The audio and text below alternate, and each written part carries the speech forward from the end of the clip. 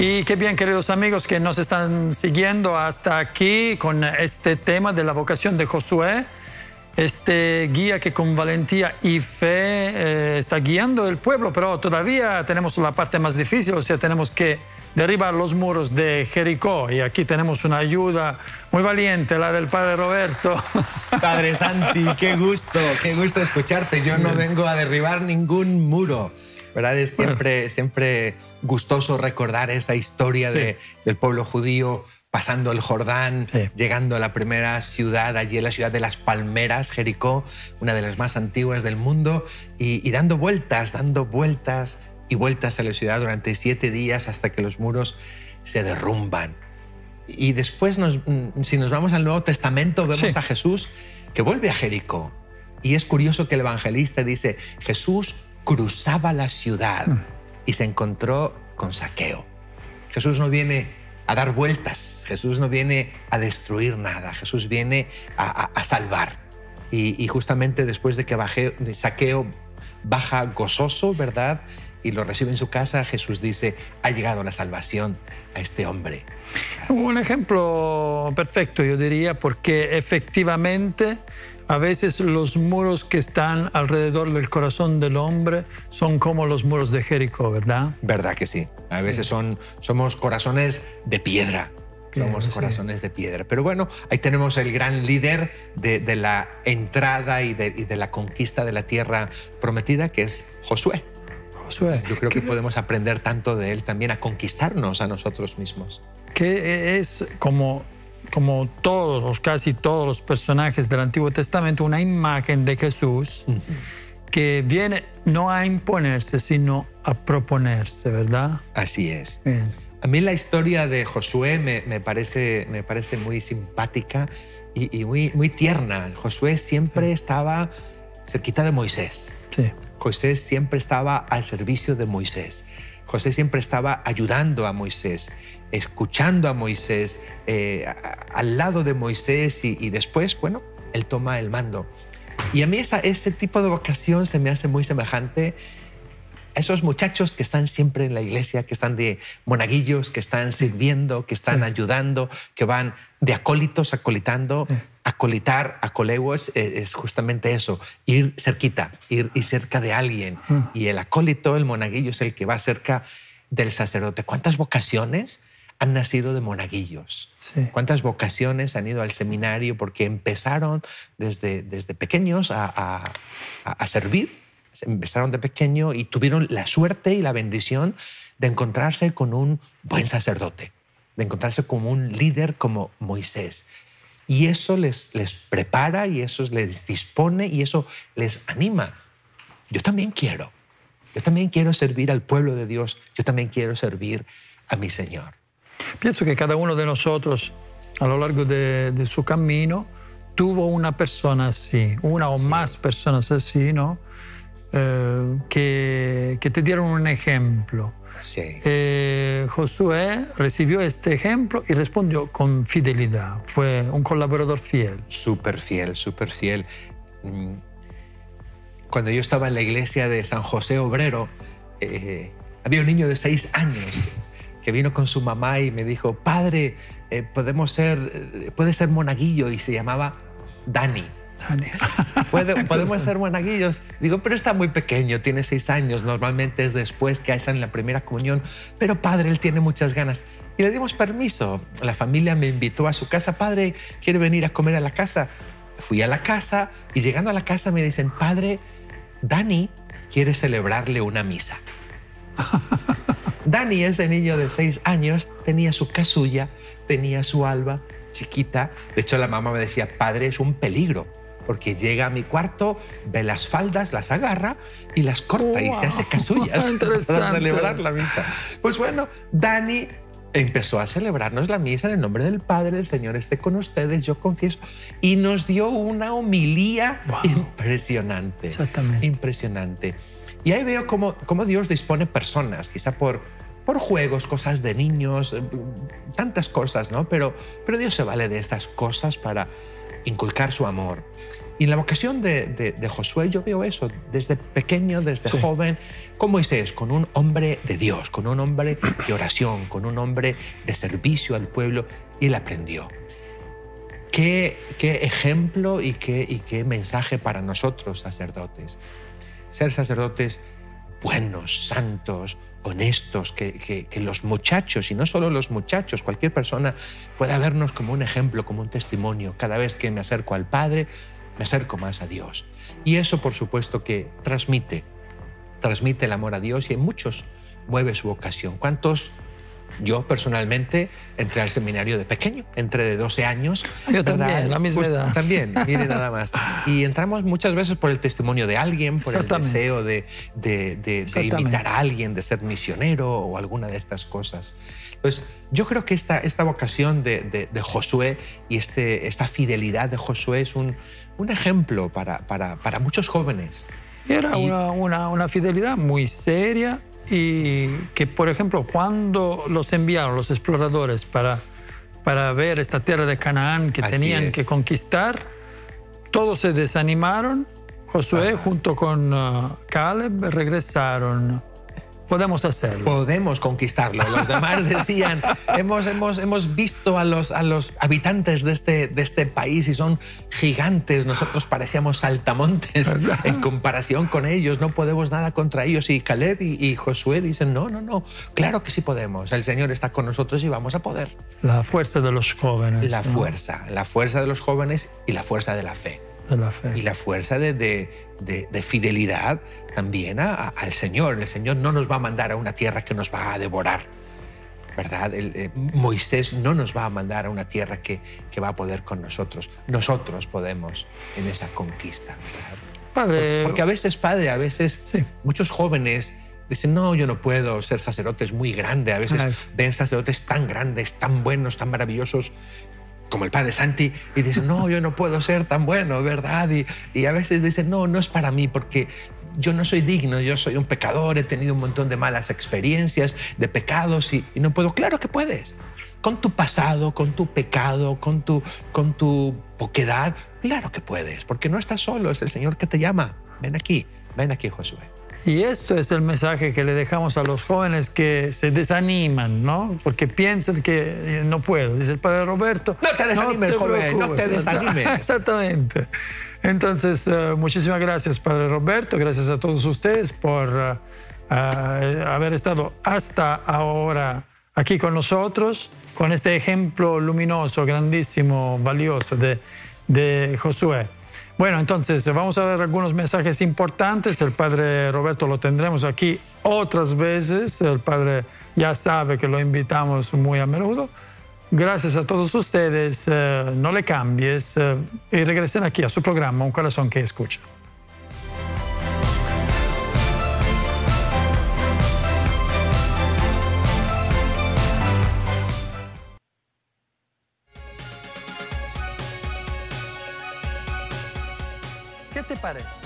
Si el Señor te llamara a consagrarte a Él?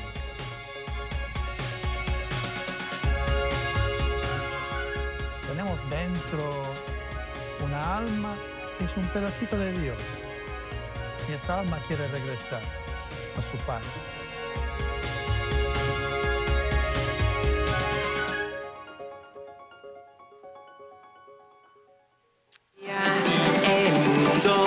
Necesita. Así es, jóvenes, Cristo nos necesita a cada uno de nosotros a seguir llevando ese mensaje de fe y esperanza. Y bienvenidos a cada uno de ustedes a su programa favorito, Un Corazón que Escucha. Así es, ese corazón que siempre está dispuesto a escuchar la voz de Dios y por supuesto este programa que te lleva a tener un encuentro con Dios y por supuesto conociendo lo que Dios quiere para cada uno de nosotros. Un programa de discernimiento vocacional y por supuesto que cada uno de nosotros podamos escuchar la voz de Dios. Y si tienes alguna pregunta, recuerda que siempre nos puedes escribir un corazón arroba esne.global y por supuesto quien nos guía en este programa maravilloso es Padre Santi que está más que listo para mostrarnos y decirnos el personaje que estaremos aprendiendo el día de hoy. Así que acompáñanos.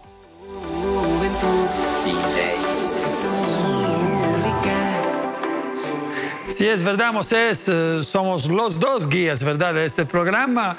Eh, y le damos la bienvenida a todos ustedes eh, que siguen este programa, Un Corazón que Escucha, un programa de orientación vocacional, en que hoy hablamos, sí, de verdad, de un guía, de un, guía fuerte, valiente, porque vamos a descubrir hoy la vocación de Josué, valor y fe para guiar al pueblo en la tierra prometida. Eh, bueno, Josué, ¿quién era? Era el que fue escogido por Dios para suceder a Moisés como líder de los israelitas, pero antes de sucederle, eh, le fue fiel a lo largo de toda una vida. Recibió un ejemplo de santidad de Moisés y después él también fue fiel hasta el final a la voluntad de Dios eh, con eh, coraje, ánimo y valentía. Lo esperó también a Moisés a, mitad del camino cuando Moisés subió al monte Sinaí a recibir los diez mandamientos, ¿verdad? Y bueno, fue también uno de los dos exploradores enviados por Moisés a la tierra de Canaán y él era el único, ¿verdad?, que regresaba con eh, palabras de ilusión, de ánimo, ya podemos hacerlo.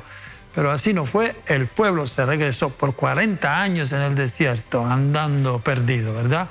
Bueno, nosotros no vamos perdidos, eh, estamos bien acompañados, tenemos aquí no solo el nuestro Moisés, eh, sino también nuestros eh, invitados y los que nos dan su testimonio. Tendremos aquí el padre Roberto Rueda, que está también con nosotros por la tercera vez, ¿no? Seguida. Y también eh, tenemos eh, nuestros eh, testimonios y una pareja a quien le hemos preguntado cómo podemos ser guías seguros y sabios para nuestros hijos, ¿verdad? Bueno, es una pregunta muy importante. Soy cierto que también ustedes se la están poniendo y quieren saber la respuesta. A ver, esta pareja que nos contestó.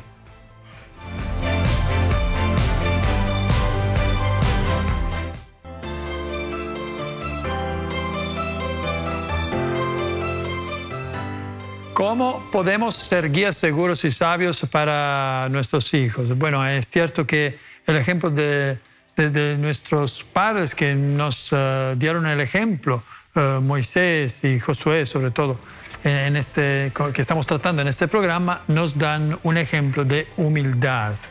Así tenemos que ser eh, buenos guías, ¿verdad? Y también la Biblia, en el, en el libro de, de Josué, al capítulo 1, versículo 7, eh, dice así, el Señor dijo a Josué, seas fuerte y valiente para obrar en todo según la ley que te dio Moisés, mi servidor. No te apartes de ella ni a la derecha ni a la izquierda y así tendrás éxito en todas tus empresas. Dios le está pidiendo fidelidad, fidelidad a la ley de Dios, a la ley a que Moisés fue tan fiel con su santidad también se lo está pidiendo a Josué. Y sabemos que José fue, Josué fue muy fiel, eh, pero sabemos también que nuestra experiencia no es tan fácil. Nosotros hacemos pecados, hacemos errores, eh, somos imperfectos. Ustedes también dirán, dirán Padre, yo eh, no soy santo. ¿Cómo puedo guiarle a mis hijos si no soy santo? Bueno, preguntámoselo a un padre que vive que viva la experiencia de su familia, ¿no? Todos los días. Eh, tenemos aquí el nuestro DJ Moisés. Eh, ¿Qué consejos tú, Moisés, le darías a un padre que tenga miedo de hacer errores? Creo que la respuesta la acabamos de escuchar en la palabra de Dios, ¿no? No tener miedo a lo que nos habla y nos dice el Señor en todo momento y en todo lugar. Y no tener miedo también a cometer errores. Creo que como seres humanos estamos expuestos a cometer esos errores, pero siempre confiar en la misericordia de Dios, pedirle esa sabiduría a Dios para ser buenos padres, eh, sí, en medio de los errores, en medio de la adversidad, en medio de los problemas también que podamos uh, pasar ¿no? como familia. Pero saber escuchar esa voz de Dios y una recomendación que les puedo dar, visitar el Santísimo. Yo creo que ante el Santísimo, ante la presencia del Señor, Dios nos habla claramente a cada uno de nosotros y por supuesto nos va dando las herramientas y nos va guiando cómo ser mejores padres. Así que no tengas miedo, de cometer errores, pero sí también aprender de cada uno de esos errores para ser mejores padres de familia. Claro, lo dijiste correcto, de ponerse delante del Santísimo y ahí aprenderás de la humildad de Dios, porque con esta humildad tendrás por lo menos eh, el ánimo, la humildad, la valentía de aceptarlos, tus errores y de aprender, porque no hay error peor de lo que de, tú no sabes aprender una clase de vida. Bueno, vamos a escuchar ahora otra clase de vida, el testimonio del padre Javier Cortés, misionero de Guadalupe. El padre nos da su testimonio, lo escuchamos con atención y ya lo agradecemos por haber estado con nosotros.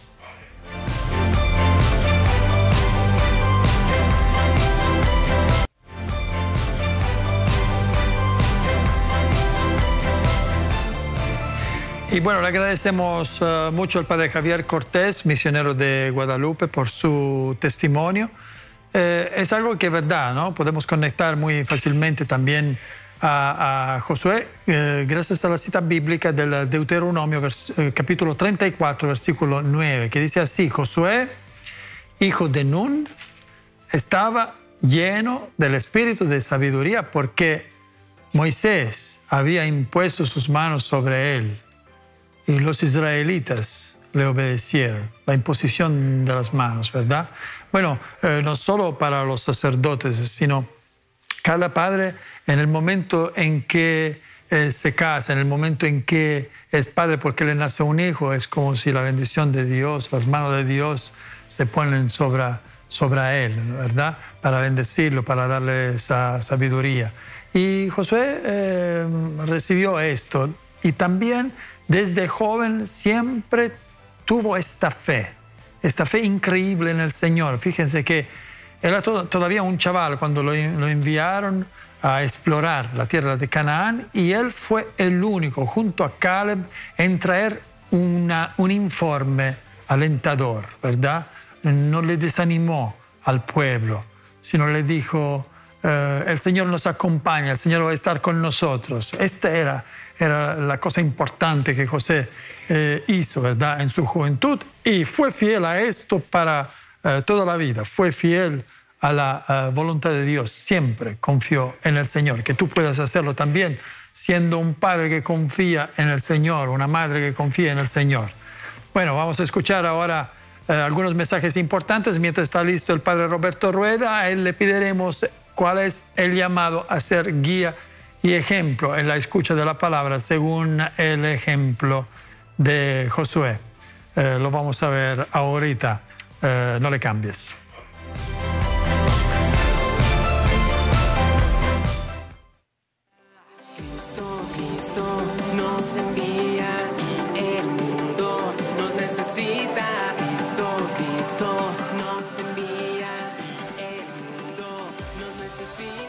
Así es, queridos jóvenes, Cristo nos necesita a cada uno de nosotros para seguir llevando la esperanza, para seguir llevando el amor al mundo entero y por supuesto llevando esa música que te conecta con Dios, porque es la esperanza, es el mensaje de Dios a través de la música, pero también estos personajes bíblicos como el que hemos aprendido el día de hoy, que es Josué. Recuerda seguirnos en nuestras redes sociales, arroba CDJ Esne, en Instagram, en Facebook, en YouTube para que también puedas compartir de nuestro programa de CDJ Mundo Joven y asimismo seguir conociendo de este maravilloso mundo, el mundo del Señor que nos ama con todo su corazón. Y por supuesto, Padre Santi, que nos trae ya el resumen de este programa maravilloso, Un Corazón que escucha. Dios te bendiga.